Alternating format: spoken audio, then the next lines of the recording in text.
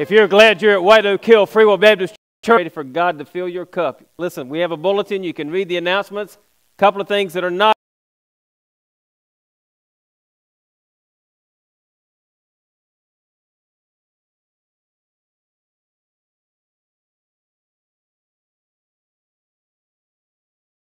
Sign up sheets in the vestibule. Please sign it. It's going to be great August 2nd and 3rd. Secondly, we have four huge tubs of ice cream.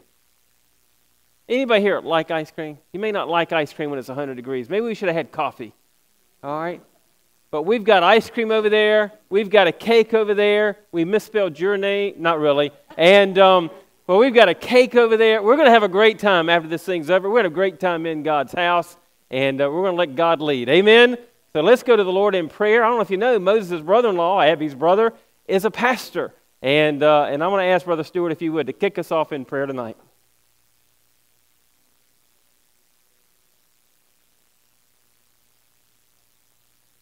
Lord, we just pray that you would just uh, overflow this service with your spirit tonight. Yes. Lord, we pray that you would just help us to leave here knowing that we've met with you this evening. Father, we thank you for Moses and Abby. Lord, we thank you for their life and for their testimony for you. And Father, I pray for him tonight as he is being ordained into the ministry, Lord, that you would just strengthen his heart, encourage him, Lord. Give him the resilience to stand in a world that's falling down around him. Mm-hmm. And Father, I pray that you would just lead, guide, and direct every step that he takes, every move that he makes in the ministry, Lord. Just help it to be bathed in prayer, Lord, and with your stamp of approval upon it. Father, again, we just thank you for all that you've done for us. We thank you for a church that we can come and worship you in freely Yes. tonight. Father, we thank you again for everything that you've done and for everything that you're going to do. We'll be careful to give you all the praise, honor, and the glory. We ask all these things in Jesus' name. Amen. Amen. Dr. Beer. Well, it's great to be part of this service, isn't it? It's what an exciting time. I remember years ago being ordained, and it's such a blessing. Good to see Moses' family and extended family. You're welcome to our service tonight. Thank you for being with us. We're going to start the service out with just a couple of songs. We got a lot to do tonight, so let's stand and sing The Blood Will Never Lose Its Power.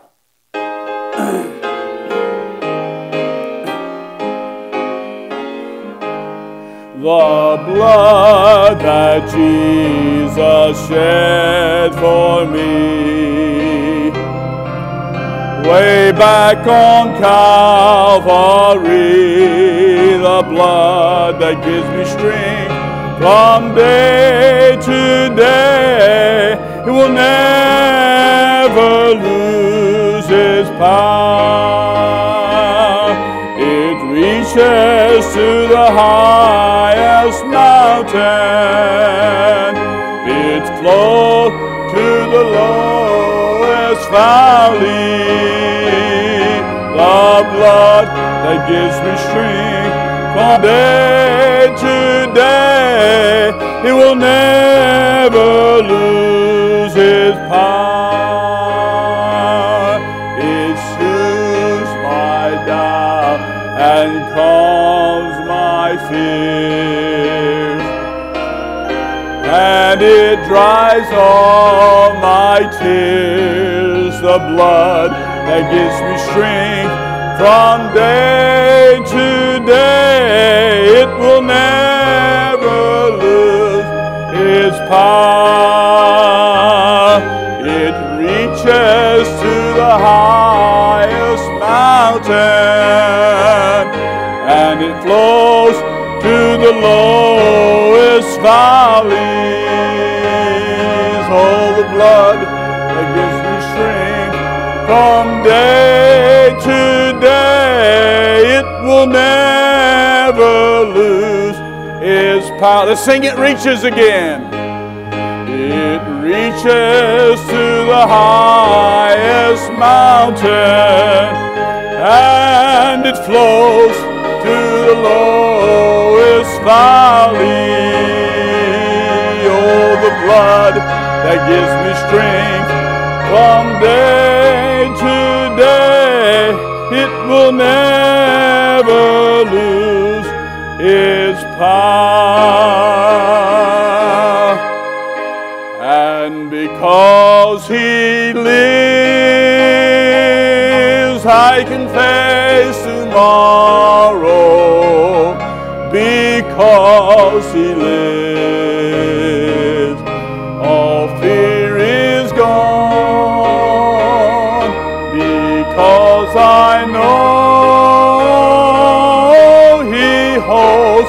the future, and life is worth the living just because He lives. Because He lives, we can face tomorrow. Amen. Because He lives,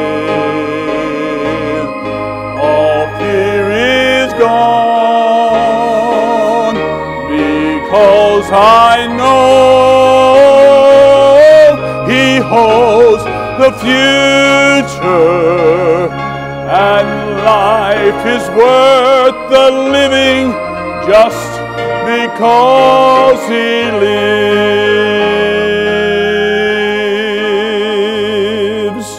Ushers, you stay in place. Instrumentalists, you keep playing. You turn around and fellowship. Greet somebody tonight.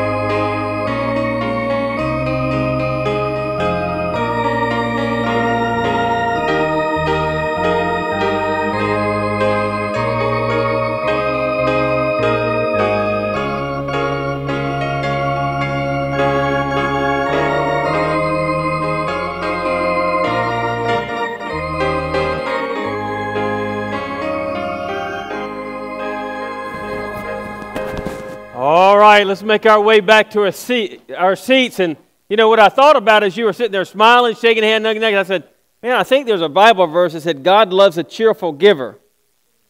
So we have taken care of the cheerful part. You have to take care of the giving part. Amen. And uh, let's bow our head. And of course, as we normally do at White Oak Hill, with your head bowed right now, in the quietness of the moment, I want you to think of something you can praise God for. Thank Him for something. God loves the heart of praise. Thank Him right there with your head bowed. And then what an honor it is to give to the Lord. And Brother Jerry Belcher, would you mind leading us in that prayer? Our Heavenly Father, we do give you honor and glory and praise your holy name, Lord, Yes. for your love for us as sinners, Lord, allowing your Son to shed his blood on the cross for us, Lord. We know that he could have called 10,000 angels and took himself off that cross, but yet he loved us enough to stay on it. Lord, we thank the song we just sung. Because he lives, we can face eternity, Lord, and know that one day we'll be with you in heaven. Lord, we just ask you to take this offering and use it for the building of your kingdom. Be with Yes. Brother Moses as we ordain him as our youth pastor, Lord. Just give him the blessings that we need to give him as a church, Lord, and love him the way we do. In Christ's name we pray. Amen. Amen. You may be seated.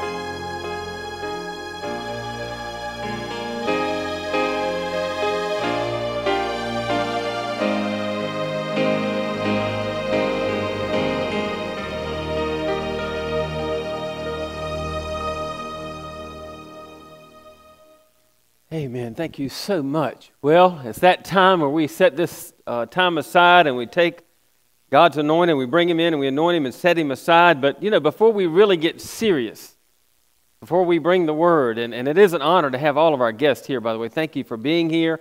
I know half of you don't even like Moses, so thank you for showing up. Amen. And, um, uh, but what a journey it's been. How many of you remember the first time you met Moses?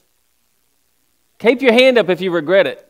No, I'm just teasing. You know, we love him, love him, and uh, he's been wonderful. Our kids have grown to love him. We just are, are, having a great time, Moses. We love you and Abby so much. And it's an honor to be here tonight with you to share. Don't start crying. To share this time with you.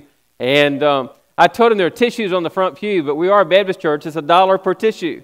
And, uh, and uh, but before we launch off, uh, we got some pictures. We just want to share some pictures with you. We're family. You know, family looks at pictures, right?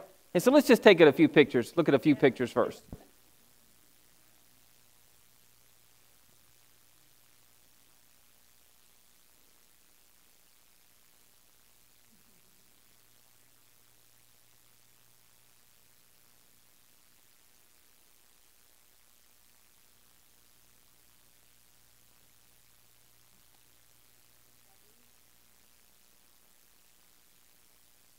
And we lay hands on them and set them to the ministry. Well, when you go into the New Testament, in the book of Acts, uh, the apostles were worn weary trying to take care of everything.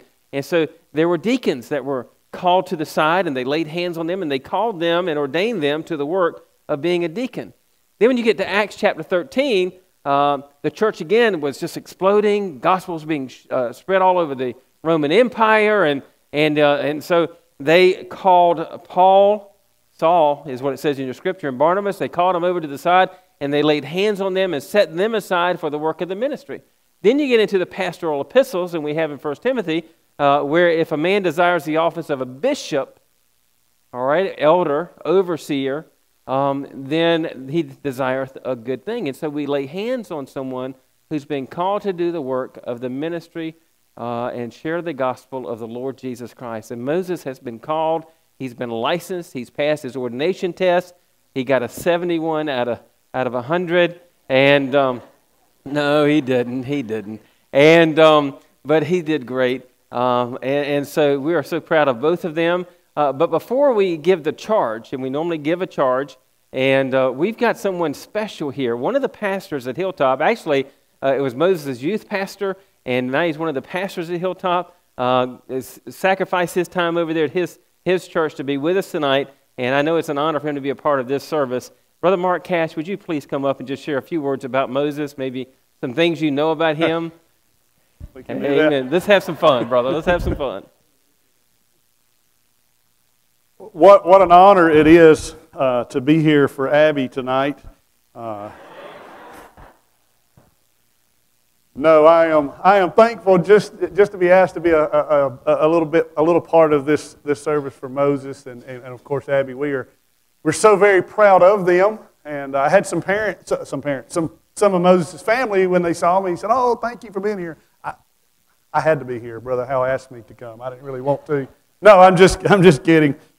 it really, truly is an honor. And um, very, of course, as you guys are, very proud of Moses, very proud of uh, of Abby. And Brother Al, Brother Hal called me uh, last week, and, or texted me, I think, and um, uh, we talked on the phone, and, and uh, he said, I want you to be a part and, and just, just share some personal things about, about Moses before we actually get into the, the charge, the ordination. And so, uh, you know, I, I, started thinking, and, and um, I wrote five words down. Uh, and I, I guess as you're a preacher, you got to have some kind of outline. I even alliterated it. Um, uh, Brother, Brother Bear, you'll be happy, uh, proud of me maybe. First word I wrote down was fun. the Bible says in Proverbs 17 22, a merry heart doeth good like a medicine. Uh, and, and, so I, I, got to thinking about Moses. I got to thinking about, uh, you know, his, his, his life from the time I knew him. I, I asked him right before service, I think you said you were 11 uh, when you came to Hilltop. And uh, fun. We had a lot of fun. I think about Moses, I think a lot of a lot of laughter, a lot of good times, and, and y'all know him. Y'all have been around him. He's a blast. I was debating on whether or not I was going to share this story, Brother Hal, but you opened the door wide open. Share the story, he said. You said the name on the cake was spelled wrong. that's okay because apparently he don't know how to spell his name either. Some of y'all know the story from my understanding, but uh, I will, you'll probably hear me call him Moss tonight more than I will call him Moses. And, and his family all knows the story. and I understand a few of y'all do, but uh, when he was teenager, this is, this is before Abby, uh, so it's okay. Uh, but he was, he, a pretty girl was talking to him. He was, he was a little rattled because apparently he wasn't used to talking to pretty girls. And she asked him, and, and I'm making a long story short, she asked him how to spell his name, and he said M O S course, he had a, his whole basketball team was with him, and they all died laughing. And, and from then on, we've called him Moss. And so uh, it's okay if it's spelled wrong in the cake because he don't know how to spell his name either. But no, I mean, from, from stuff like that to him jumping off cars, I just heard that story tonight and getting hurt. It just camps and conferences and retreats and, and, and teen activities. Uh, Moses was always a lot of fun to be around. Uh, and, and still is, for that matter, because you never know what, what might happen. But uh, I, I, I, I thought of fun. The second word I wrote down was family. And as I knew would happen, I knew there would be a whole section of, of Moses' family here tonight. Um, if you hadn't already figured it out, he has a huge family. And, and, like, you'll never meet all of them. It's like they keep coming. I, uh, did I go with you on your senior trip to New York? We met quite a few. In fact, Morari's here somewhere. That's the first time I met you was in New York on that trip. And then I went with Isabel this past year. She graduated, and, and his, Moses' sister and we met like three other family members. I thought I'd met them all. And it's just like they just, they just keep coming. They, just, they have a huge family, but as you can tell, and it's obvious, they have a very close family. Uh, in fact, you know, you see that uh, not just that they love each other, they love other people. Uh, they love the Lord. It becomes obvious. And, and if you hang around them, you'll, you'll start feeling like a part of their family. And, and I've always appreciated that about, about his family, but and I, you've seen that with him and Abby and, and their love for each other, but, but also their love for the Lord that reaches beyond just their blood. It reaches to the, the body of Christ, it reaches to other people, uh, and, and their ministry, I'm uh, say more about it in just a second, but uh, they, they just minister in our church and reach out to people, and they're always bringing people to church. And Moses, from a very young age, was a big part of that. Uh, and I've always appreciated that about you, Moses, that you jumped right in with your mom and dad and, and would serve, whether it's in Awana. We were talking about some of the bus ministry areas that y'all would go into tonight and, and always involved, never complained. And, and at least if you did, I didn't see it. Mom and dad may have saw it. Just always there involved. I always appreciated that about him, about his family. I wrote down the word fun. I wrote down the word family. I wrote down the word faith. I told him not, I don't remember when he got saved. You did get saved, right? Okay, just making sure. I don't remember the day he got saved, but I do remember watching you grow and, and mature both uh, physically and spiritually. I, I, watched you grow in your faith from a aggravating little boy to an aggravating young adult. Uh, no, in all seriousness, I have watched you grow into a man that, that I believe God is using to do great things and will continue to do great things. Uh, I, I, do remember you answering God's call on your life to, to, to go into ministry and to preach the gospel. Uh, and, and just your faith in God, to, uh, putting your faith in Him, but trusting Him to use your life and, and stepping out in faith, going to Bible college, and now in ministry uh, is just something that, that I appreciate tremendously. And then I wrote down the word faithful. Uh, the definition of the word faithful is loyal, constant, and steadfast. Moses was, was one, of those te- one of those teenagers that you could always count on. You know, the one that you don't want there, but they all show up anyway. That was my, no, I, I'm just kidding. Man, if we had a teen activity, he was there. If we were doing something at the church, he was there. Services, I mean, it, and by the way, can I say, because I know he's working with young people here, to you parents that are here, it's amazing how the faithful teenagers turn into faithful adults. You want your young people to serve God when they get older, then you keep them in the house of God. You, you, you keep them faithful uh, to, to what's going on around church. But Moses was, was always there, faithful to serve. Again, not just, he wasn't just there, you were involved uh, in, in our bus ministry and with our kids and always just, just doing something and, and, and also faithful to God. I know Brother Hal is going to give you a charge in a few minutes, but let me say say to you, stay that way. Keep that drive, that, that hard work, that willingness to just serve. And, and be faithful to the Word of God, faithful to preach the Word. And then the last thing I wrote down was the word future. Um, I'm looking forward to what God has for you. And we don't know how long we have on this earth. We, we don't know if Christ is going to tarry his coming. Uh, but I'm excited to see what God does through you and your ministry. Uh, and, and, to be honest with you, if the future is anything like the past, I can't wait to see it because it's going to be a blast. Um, but in all, in all, seriousness, Moses, I am uh, extremely proud of you and Abby, both of you. And, and um, you've come from good families. I mentioned family, both of you. And, and it's good to see uh, Ray and Paula here as well, and, and Stuart and Taylor. And um, just, you've both been taught the right thing. You've been in the, in the Word of God. You've, been, you've seen Christian home. You know what it is. And, and I, I'm excited to know that, that you're continuing that and going to continue that. And so, uh, let me just say thank you for letting me have part in the service. Thank you for letting me have a part in your life. Uh, and and I'm, um, I'm truly blessed and, and honored uh, that, uh, that God is using, that you guys are, are submitting yourself to the plan of God, the will of God for your life. And so stay faithful. Stay close to God. Stay in His Word. Be faithful to preach the Word. We love you guys. Uh, we're super proud of you. And um, keep on keeping on. About um, how large your family is, and of course, expanded, extended family. It occurred to me that I met, I think, three new people in your family today. And then it occurred to me this because he's such a jokester. How many of you know in the Batman series that there's a character called the Riddler, and there's a big question mark in front of him. I wonder if your family just has question marks and they got a picture of the Riddler, and then when they trick somebody like me, you, they're not really your family. They come up and lie about it, then, and they say, "But he believed me." You know that Chinese dude I met the other day. I didn't really believe he was your family, but probably has a copy of the Riddler. Anyway, we're glad you're here. And uh, would you take your Bible, turn to John chapter 21, and that's where we'll find a passage of Scripture for our charge this evening. John chapter 21.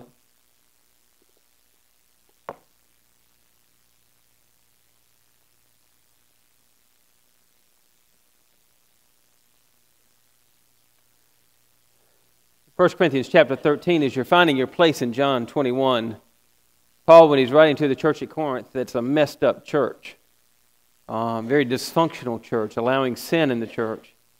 When he's writing this church, he said, Love never fails. Moses, that's where I want to go tonight for you and Abby. Because there are going to be times in ministry where it's going to be really hard to love people.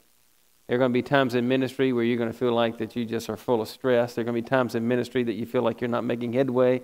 You're trying to run a 100 yard dash in a tornado going the opposite way. There are going to be times in ministry where it's going to be really, really tight, really tough. There are going to be times in ministry that you fail you just are going to absolutely fail. You're going to boggle, you're going to do some things wrong, and you're going to know you're going to fail because the devil's going to tell you how much of a failure you are. And, uh, and so in John chapter 21, uh, I'm going to begin reading in verse 9. We normally stand, you just keep your seat. And, uh, but I want to take a look at somebody who uh, very easily could have let his past haunt him. Very easily could have said, I'm not worthy to move forward. Very easily could have gotten distracted and, and not moved on.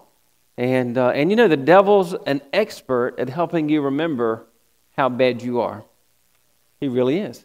He wants you to believe you're worthless, and God wants you to know you have value. As a matter of fact, you have so much value tonight that God would send His only begotten Son to die for you, not just for the world. That's how valuable you are as an individual, and that's how badly God wants you to be a part of the family of God. John chapter 21, I hope you're there. I'm going to begin reading in verse 9. And as soon as they were come to land, they saw a fire of coals there, and fish laid thereon, and bread. And Jesus said to them, Bring of the fish which you have now caught. And Simon Peter went up and drew the net to land full of great fishes, a hundred and fifty and three. And for all there were so many, yet was not the net broken. Bells started to go off. Jesus said to them, Come and dine. None of the disciples dared ask him, Who art thou? because they knew it was the Lord. Then Jesus then cometh and taketh bread and giveth them, and fish likewise. This is now the third time that Jesus showed himself to his disciples after that he was risen from the dead. So when they had dined, Jesus saith to Simon Peter, Simon, son of Jonas, Lovest thou me more than these? He saith unto them, Yea, Lord, thou knowest that I love thee. He saith unto him, Feed my lambs. He saith to him again the second time, Simon, son of Jonas, lovest thou me? He saith unto him, Yea, Lord, thou knowest that I love thee. He saith unto him, Feed my sheep. He saith unto him a third time, Simon, son of Jonas, lovest thou me? And Peter was grieved because he asked him the third time, Lovest thou me? And he said unto him, Lord, thou knowest all things. Thou knowest that I love thee. And Jesus said unto him, Feed my sheep. Verily, verily, I say unto thee, when thou wast young, thou girdest thyself and walkest whither thou wouldest. But when thou shalt be old, thou shalt stretch forth thy hands, and another shall gird thee and carry thee whither thou wouldst not. And so let's go to the Lord in prayer. Father, we thank you that we can know that we have a God who gives second chances. We have a God who forgives us of our sin. We have a God who calls men knowing that men are not perfect, knowing that, Lord, we're not, we don't have a lot to offer, but, Lord, little as much when it's in your hands. And, Father, we thank you for Moses and Abby. We thank you for their desire to see souls saved, their desire to see uh, men and women come to a closer walk with you, become, Lord, just excited about the things of God. We thank you, Lord, that we get to be a family together. That, Lord, we get to shine our light together. And, Lord, may we shine our light for Jesus Christ. And, Lord, we just pray that you'll open up our hearts and help us to receive the word. And may we know the word isn't just for these two, the word is profitable to all who hear it. And Lord, we just pray that we're receivers tonight in Jesus' name. Amen. And so you would think right here, as Jesus is talking to Peter, and you start reading this, you know, the world would say, Hasn't Peter done enough? He denied him right there. And when Jesus needed him the most, Peter was by the fire cursing and denying him three times, then running away. And so the world would throw stones at Peter, but God didn't see Peter's past, he saw Peter's potential. And Moses and Abby, that's exactly what God sees tonight. I cannot tell you what tomorrow holds for both of you, but I can tell you God holds tomorrow. He knows you. He would not have called you had he didn't have, he didn't have a wonderful plan for you tomorrow and next week and next year and the years after, even after the rapture, Moses. No, I'm kidding. But yeah, you know, we, God's called you. He's, he knows what's going to happen. He knows the potential that's in you. And by the way, the devil knows that when God calls somebody like you guys and calls you Moses, the devil knows that there's something special about you. And so you know what the devil's going to do? Now you've got a target. All of us have a target, but ministers really have a target. Their influence, the domino effect is there. And so when we see have a service like this right here, and the devil sees a service like there, he's going to try to tempt you. He's going to try to dissuade you. He's going to try to cause doubt in your mind. He's going to try to do a lot of things. And again, you're going to fall. A just man falls seven times, but then what? He rises up again. And with God's grace, you can rise up again, but you've got to do it in God's strength. And so we see here uh, that uh, he calls Peter, and, and, and just a real quick challenge I want to give you is when you start ministering and you've already been ministering, here's what the church needs. The church doesn't need somebody to lord over it, they need somebody to love it. And that's really where I want to focus tonight because the sheep, the church, need the right shepherd. They need the right man. And in 1 Timothy chapter 3 and verse 1 through 7, we find the qualifications of a right man. You've met those qualifications, but I want to read it again for the body, and I want to remind you because when you say, I want to go into the work of God, work of God you're saying, I'm going to keep these qualifications. There are many a man that's gone through the gate saying they're going to preach the gospel till they die, and they didn't finish the race. And you're only going to finish the race if you keep your eyes on the Lord Jesus Christ.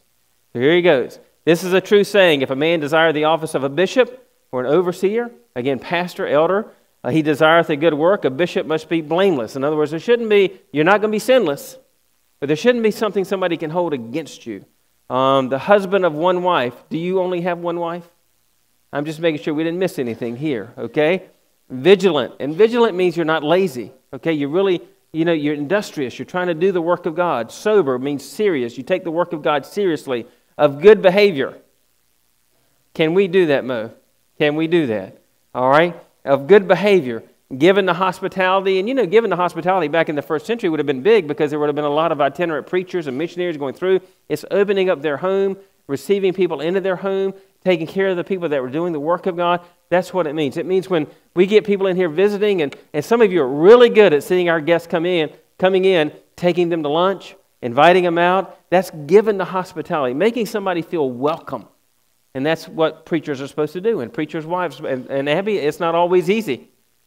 I cannot tell you over the decades I've been preaching, and I'm sure Dr. Bear's the same way, Any pastor, or the guy will tell you at the last minute, we'll say somebody's coming to the house for dinner. And there's nothing for dinner.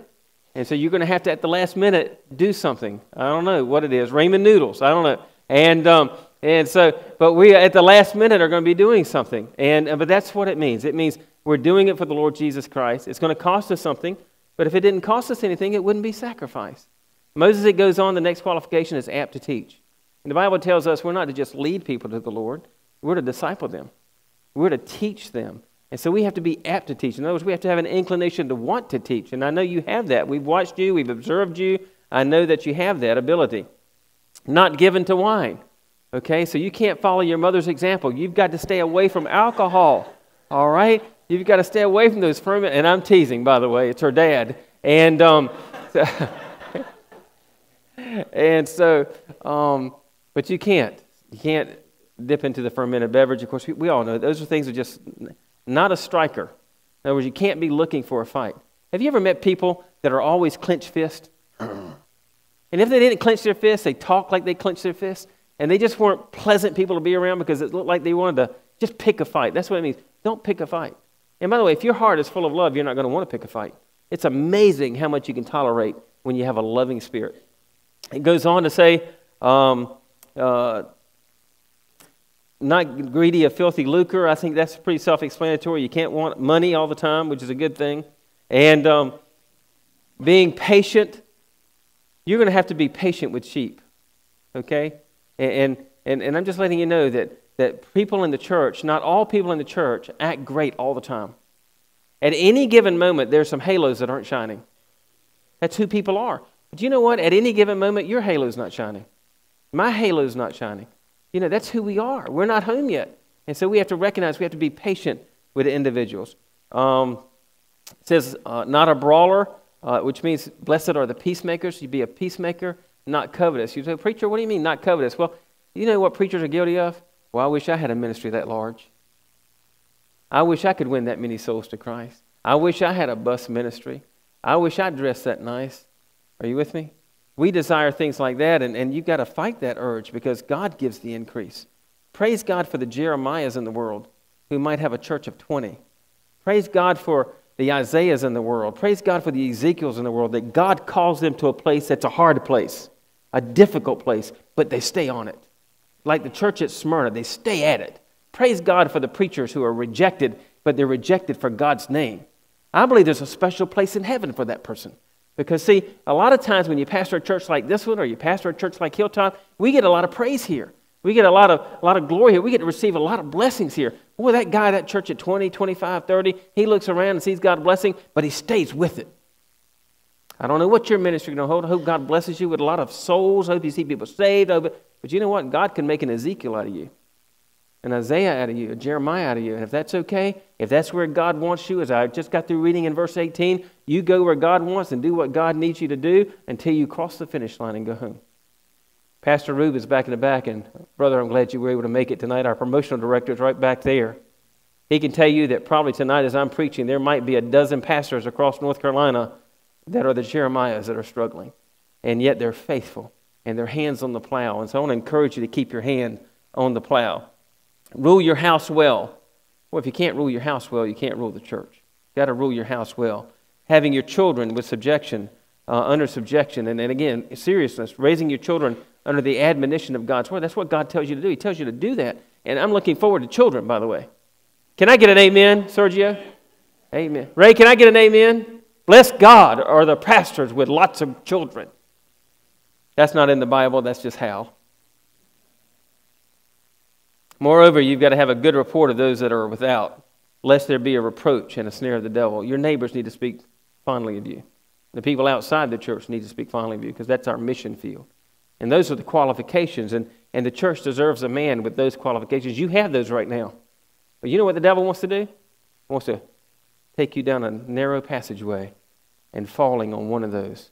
All right? And you need to make sure your eye is straight, your nose is straight, you're in God's Word, you're full of God's Spirit, and you're doing God's work. Sheep need the right man. Not only do sheep need the right man, they need a man that's going to have the right heart. And that heart being full of love. And that's what we find Jesus telling Peter I want you to love my sheep. See, it's going to be that kind of love when the sheep fall into sin. repetitive sin. Well, Pastor, and I see you in my office. Pastor, I talked to that teenager. I told her not to do that. I told him not to do that, and they went and did it anyway. And then I'm going to have you call Pastor Mark, and Mark's going to tell you you did the same thing. Okay? It's proven medically that teenagers are brain dead. No, I'm teasing. How many of you might think that, though? Amen? But we love you, teenagers. We love you most of the time. And so that's who they are. But it's going to take, it's going to take love when you sit with a teenager four hours and they go out and do the exact opposite of what you told them to do, what you counseled them to do, Abby. It's going to take love to get you past that because you're going to want to get mad at them. All right? You can't get mad at them. you got to love them. Sheep get dirty. They fall into the mire. All right? They get their wool gets caught up in the bushes, and you're going to have to untangle them, and they're going to go to the same bush, and you got to untangle them. And it's love that's going to keep you being patient and being gentle and watching over that sheep.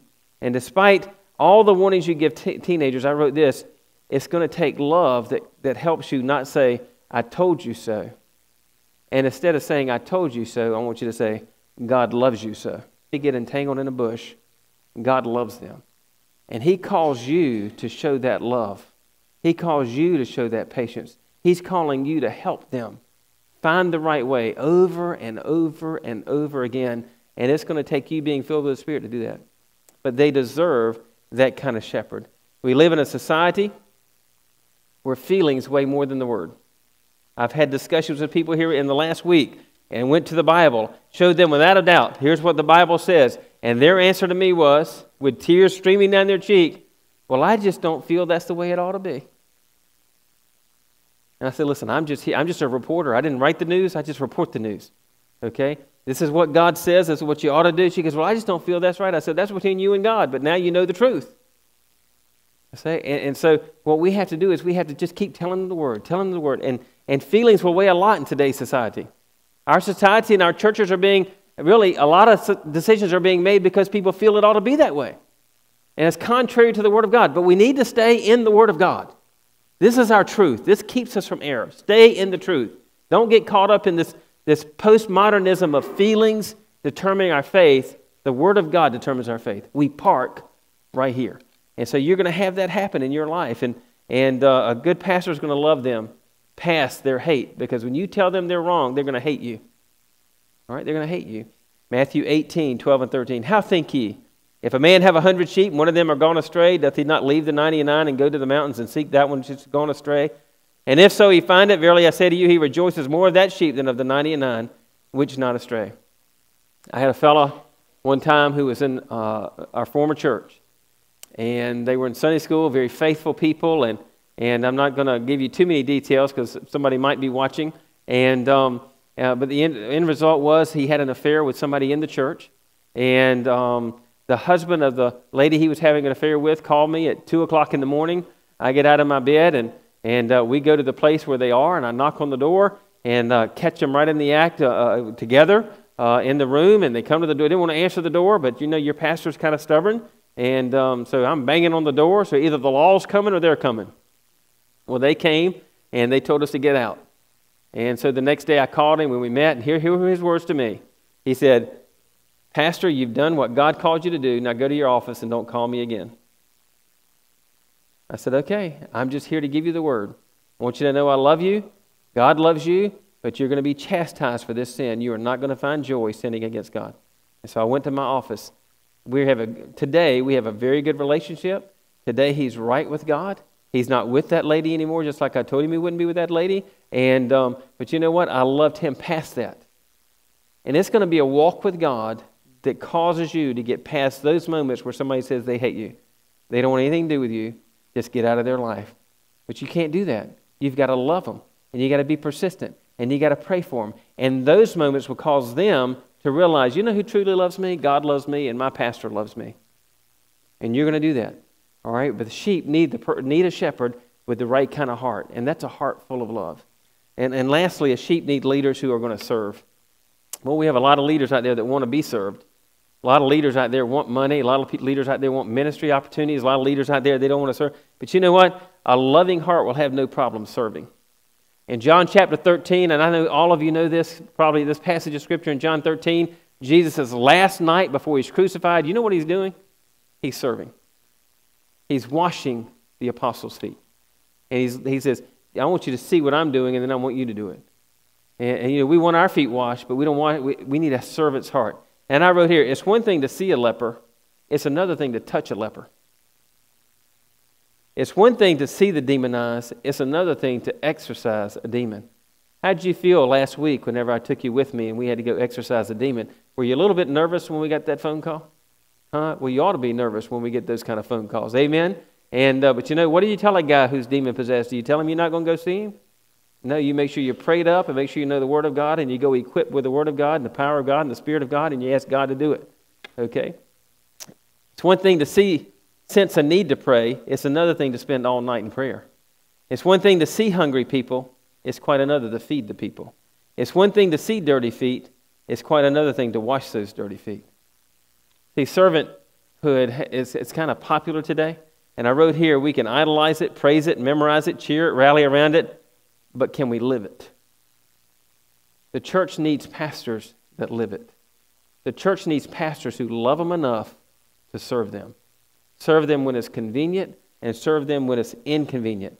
And so a faithful minister is going to stay qualified because he's going to stay full of love love for the Lord and love for the sheep. And so, Moses, I charge you to be faithful to God. And just as he told Peter in our text, he said, Feed my sheep, tend my sheep. And that's my charge to you is whenever you get ordained, you love them. Even when they're not really lovable, you still love them because love never fails. Abby, God will use you mightily as long as your heart is full of love. I read back in 1957, the First Brethren Church of Sarasota, Florida, they had a groundbreaking service for their building. And ordinarily, a church will get a few shovels and certain people will turn over a few chunks of dirt. But they, they recalled the words of Jesus Take my yoke upon you. So the church decided to borrow an old one horse plow and harness and, and, and take their strongest young men, attach their strongest young men to the plow. But those two men didn't move it one centimeter. That, that ground was hard. And so they pulled and pulled and nothing happened. So the building committee, the whole building committee, grabbed that plow and they pulled and nothing happened. And so then the church officers, the deacons, you know it's hard when the deacons get involved, okay? And so the deacons get there, and the Sunday school teachers get there, and all the teachers get there, and they pull, and they didn't move it. Finally, the pastor says, I need everybody in the church to come and grab this plow so we can break this ground. And so every member of the congregation who was present took hold of the rope, and with every member pulling together, the plow moved, and the ground was broken. If Moses is going to have an effective ministry, it's a lot easier when the whole team gets involved.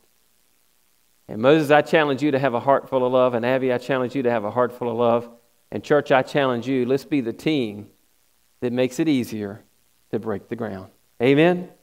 And so, Moses, what we'd like to do now, if you accept the charge, is we'd like to lay hands on you and go ahead and ordain you into the work of the ministry. Do you accept that charge? All right, would you come up here, please? And Abby, I'm going to have you join him. Won't you come up here with him? We're going to pray over you.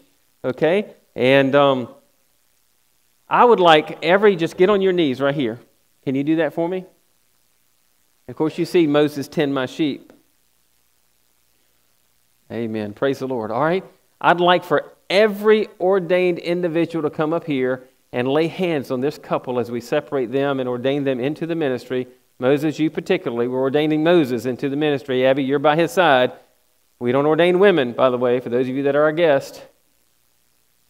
I don't think we ordain women. But let me tell you something every good pastor has a good wife. I mean, we need them. All right, I want you guys to come up here and lay hands on Moses if you would. Honey, I want you to be with Abby. I want our leadership team to come up.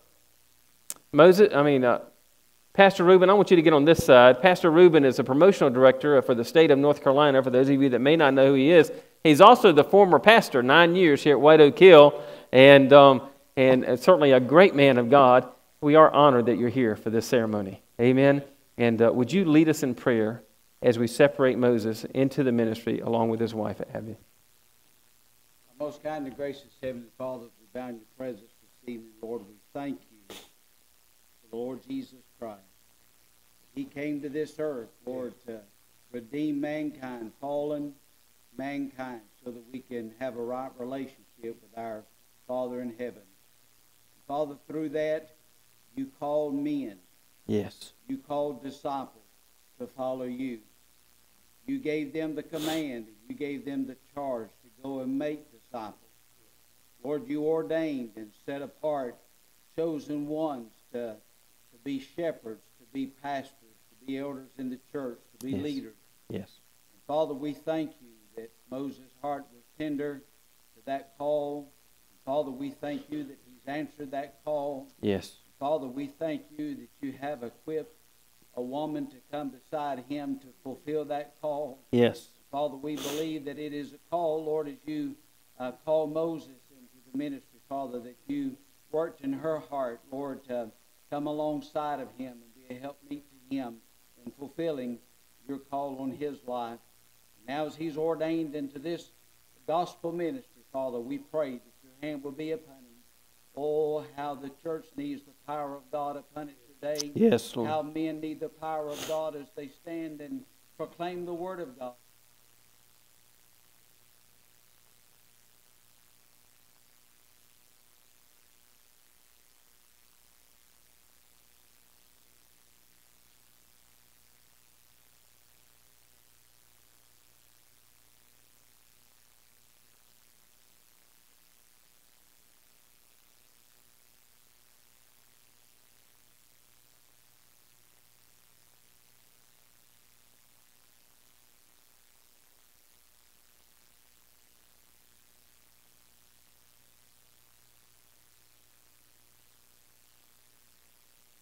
Amen.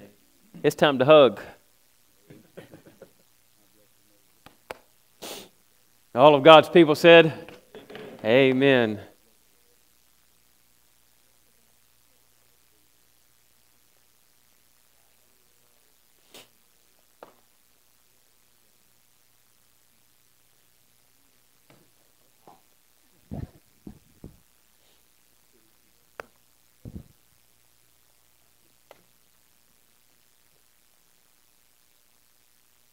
Making any money tonight. Just no one.